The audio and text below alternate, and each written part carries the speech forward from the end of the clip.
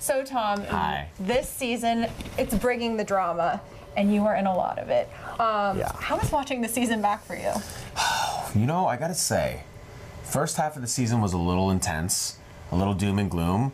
But like the second half of the season, for me, if I can take myself out of the equation, my own neuroses and everything, and the, the, the shame and pain of having to watch yourself on TV, I don't know if you get that, but um, I think it's awesome. It feels like vintage VPR. It's a, it's like the drama's still there, the stakes are there, but it feels a little more lighthearted. I love it. I've watched, I've seen every episode because we already did the reunion, but I think it's really, really, really, really good.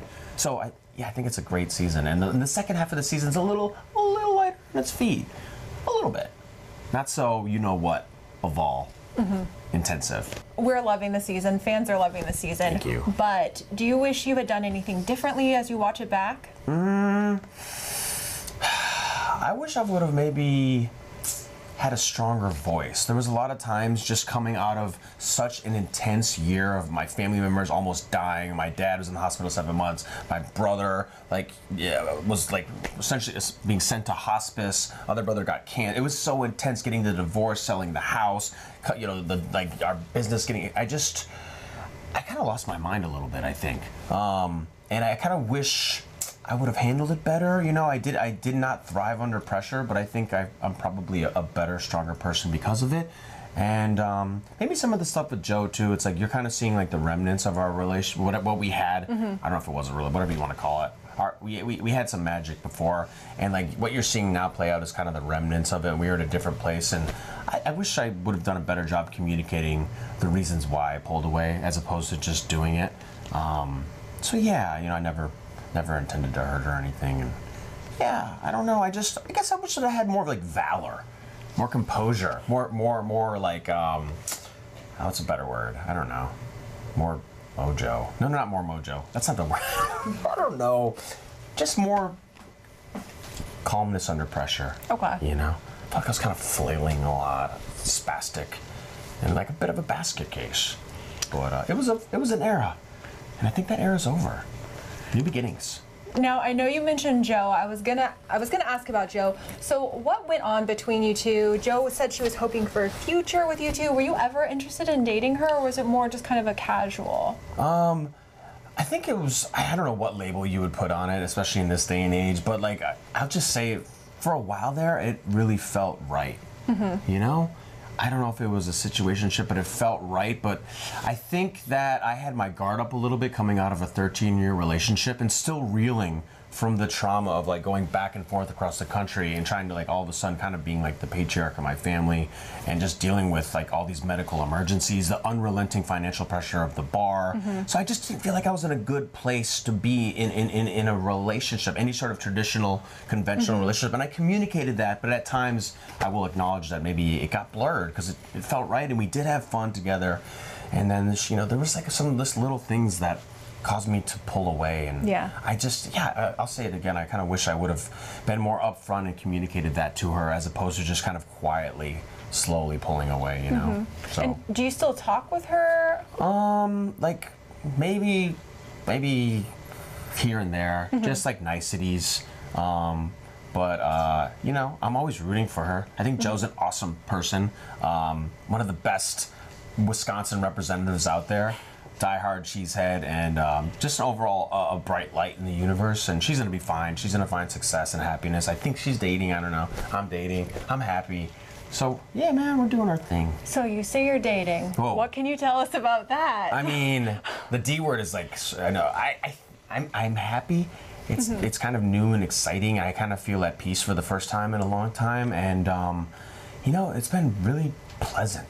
Um, her name's Sophia, and uh, yeah, she's she's a marketing manager and strategist, and she also has like a vintage uh, clothing store, Shop Sosco. Check it out.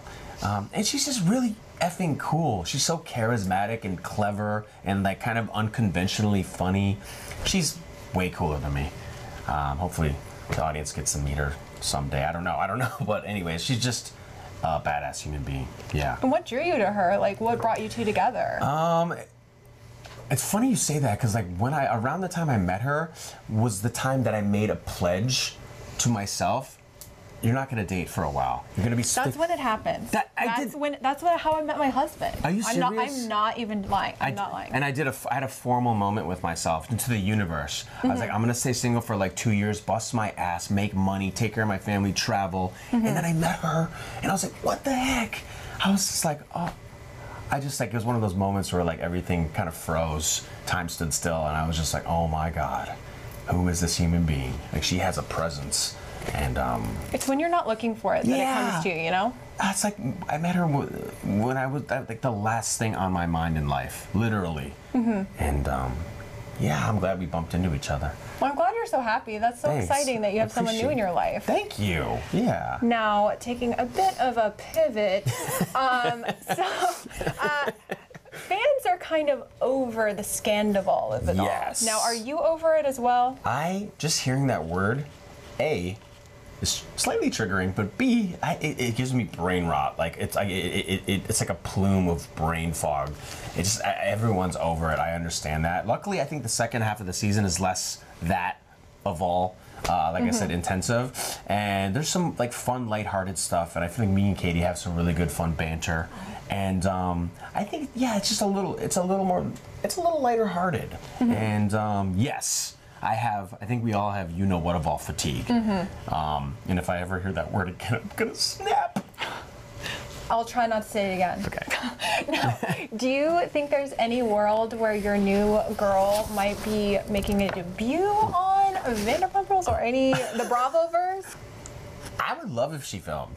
Um, of course, I'll give her all the disclaimers because it can be intense if you've never done television before. Having your your life, uh, your emotions put on display for others to judge can be terrifying, and it's not for everyone. And you might think it's fun because you know you're kind of romanticized with the idea of being on television. It is cool. I'm not gonna lie, it's cool to be on a TV show. But when you're in the trenches and you're dissecting aspects of your relationship and where it went wrong or infidelity or something, it's it's like gut wrenching, soul sucking, and it's really hard to relive with uh, millions of people judging. But that being said, it is really fun. If you ever see this, Sophia, think about it. Now, not trying to scare Sophia, but do you think she's the one? Listen, I'm just taking it like day by day right now. Um, but I really enjoy her company. Like we just started, we, well, we've known each other kind of a while now, but I don't know. I don't know what the future holds, but I'm, I'm just really happy and at peace with her right now, or with life. Yeah. Has she met any of the other cast members? Just Yeah. in like casual hangouts or anything like that? What do they think? She's met um, she's met a lot of them. She's met Jax, Brittany. Well, that's the Valley, but she's met at Sandoval. She's met who else has she met? Scheana. You're asking me. I don't. I, I'm, I'm thinking sure. out loud here. Uh, who else? Yeah, she's met some of them. That's awesome. Yeah, but she gets along great with everybody. That's like one of my favorite things about her. I introduce her to people. She's just so genuine and like instantly like makes a connection with people. She's uh, very gregarious. Yeah, yeah. Now, I know we were we've been talking about Vanderpump Rules. A lot of fans are thinking this could be the last season of Vanderpump Rules. Do you think it should be? Um, I hope not. I don't want to end on you know what. Mm-hmm. Just like I, I feel like we're all like eh, finally in a good place again. Like the girls are getting ready to open up their sandwich shop. Mm-hmm. We're launching Schwartz and Sandy's 2.0. We have new drinks, new food, new music, live performances. Like I feel like we're on the precipice of like a real a new chapter, a new mm-hmm. beginning for us as a group of friends and everything. And I feel like we just have so much more life to give. Also, everyone on the show. I'm not talking about myself, but everyone's just so entertaining. I hope the show doesn't end because, like, I, I, for me, I, I don't love seeing myself on television, like we talked about earlier. But when I watch it back, I'm like, my friends are hilarious and wildly entertaining and problematic. We talked about Katie. Um, where do things stand with her? How are you both? Um, I think we're far better than we were after the Mexico incident. Um, you know, it's kind of she like more or less completely uh, banished me from her life and her family, and um, up until then, we ha- I think we were like model divorcees. We really handled it well, you know, and then we took a long break from each other. But I'm like, I think now it's kind of like a delightful love hate dynamic, but like, facetiously, like not, you know, it's it's it's it's nice, you know. I feel like um, we have like a playful little banter, and um, there's like there's no there's no illusions of us ever, ever getting back together. There's very clearly defined boundaries. You know what I mean? So it makes it very easy. Just it, it, it makes it easy to navigate life after the divorce. You know, there's no residual feelings. I'll always love Katie, and her name will probably always be tattooed on my ass. But like, hey, we'll never get back together, and we know that. And that's it. It just makes it easier to to to forge ahead as friends, right? I think. Yeah. Yeah. And uh, what did you feel when you heard that Katie had slept with your best friend Max? Okay, I did not see that question coming. okay, forgot about that. Um, by the way, that was a plot twist. That I did not see that on my 2023 bingo card of all the weird stuff that happened. I just was like, what? I was like flabbergasted. Mm-hmm. I was like, Max, the guy that used to run Tom Tom. Max, my buddy, like one of my closest friends, Max, that I go hiking with every week. You shagged Max? And she's just like, yeah, he was he was there. I was there. Tequila was there. And it just sort of happened. And I'm like, what? Eh, by the way, honestly, in, in light of having a very traumatic, like in most intense year of my life, it, it, it did strike me as weird, but it's it was almost like I'm not gonna say it was it felt very inconsequential, you know? It's like it just I, I and, and, and, and honestly I was so happy to be on good terms with Katie again. I didn't want to bust her balls too much. But for the record I had to like point out, you know, the hypocrisy. Because she really lit my life on fire for the whole Mexico kiss and then she's shagging one of my closest dear friends. But anyways, Max apologized to me like right away. We're cool. And and Katie's like she didn't apologize. She's like, I did it. So deal with it, bitch. And I was like, okay. It is what it is. Yeah, it is what it is. I just she hit me with the, it is what it is. Um, and you just filmed the reunion. Yeah. What can you tease for us? I'm not good at teasing. I've done three teases today and they were so lackluster. Um, but like, for me, season 10, without a doubt, was the most intense reunion of all time. Uh, like, I, I still sometimes replay that in my mind. It was so uncomfortable. And this season, I felt a lot more. I felt there was a lot of love, but it was raw, and people did not hold back. And um, it was uncomfortable, but like just like heartfelt, just raw emotion, just flowing the entire time. A lot of tears. Everybody cried at least once. I cried um, like three times, and yeah, I don't know. I, I I I left just feeling sad about where our group was and how fractured it is right now. You know, it's like Lala and Ariana haven't been getting along great. Uh, Lala and Sh- like Scheana and, and Lala and Katie haven't been getting along great. Um, I, I, I just I like when we're all one big happy family. And I know people online are like, "Tom, we hate you. Everybody needs to get along." Shtick, drop it. But like that comes from the heart. It's sincere. I love these people, and I miss our group dynamic. Um, that being said, I'm on pretty dang good terms with everybody, except for Ariana. That's a work in progress. Mm-hmm. Yeah. Now, how are you liking watching The Valley? I love the Valley because I know all of those people. Mm-hmm. I hang out with all of those people. Mm-hmm. They're my friends. So uh, it's it's yummy to watch. You know, it's salacious and it's like because I know them, we're tight, but you we don't really get into the inner workings of their relationships. I hear murmurs, but I mind my own business. So it's it's it's fascinating to watch it play out with like Jesse and Michelle and like Jax and, Brittany, and like my God, I think it's I think it's uh, juicy and wonderful, and I, I can't wait to watch more. I Now- dig the Valley. I support the Valley. Will you be on The Valley? There's a few crossovers. Okay. I think I make a few cameos. Okay. And um, I mean, more as a more full time member, maybe. I don't know. day. Maybe You live in the Valley. I'm, so- I'm- yeah, Jax is one of my best friends in the world, and we're actually we're actually working on some stuff with uh, yeah, yeah cross pollinating promotions for the bar. So. Mm-hmm. I love the guy, and um, yeah, I'm sure I'll pop in the valley once in a while. Now, speaking of Jax, do you think that Brittany um, should Brittany not go back to Jax? Should she go back to him? What do you think as a Hmm. third party? I should be careful with my words. Hmm. I don't know. I part of me thinks they're at the point of no return. Mm -hmm. I know they're trying to work things out and they're giving each other space. I don't know what's. Go- I don't. I haven't really asked. I don't know if they're dating other people. Mm -hmm. I don't know exactly what's going on. But I think whatever's going to happen, this break was n- it was necessary, mm -hmm. and it was a long time coming. And um, I think some space will be good for them. I don't know. But I, I respect the heck out of how they're handling it with Cruz, their their son. It's been very uh, amicable and cordial, and um, you know, part of me hopes they make it, but there's another part of me that's like a huge proponent, champion for like separation and divorce. It's not really that sad to me. I think it's much sadder when people stay together who aren't happy.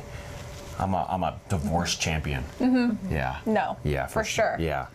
You and your ex-wife went out with the same girl. Who was interested in her first? Um, Tori's actually a friend of mine. So like our date was, you could I mean I think you can tell watching it. There's I don't I don't think there's a romantic future for us together. We're it's more platonic. We're friends. Like she's like my girl, bro. But we had a fun date. I think her and Katie had more of a romance. Um, I don't know. I don't know if they've pursued that or where they stand, but.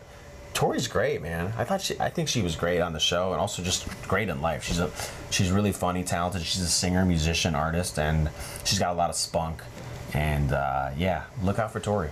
And what were your thoughts about being in a love triangle? So weird. How did it come to this? How did it come to this?